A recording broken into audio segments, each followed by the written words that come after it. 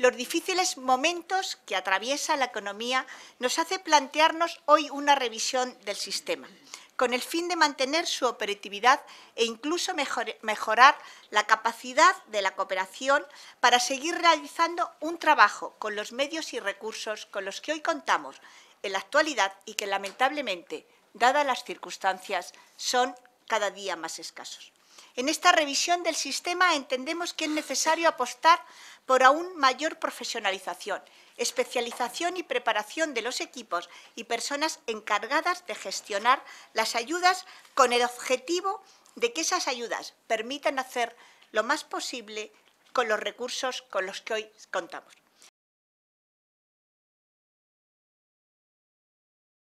Desde el principio hasta el final del proceso, desde la distribución de los recursos económicos, materiales y personales existentes hasta el resultado final y la consecución de los fines marcados.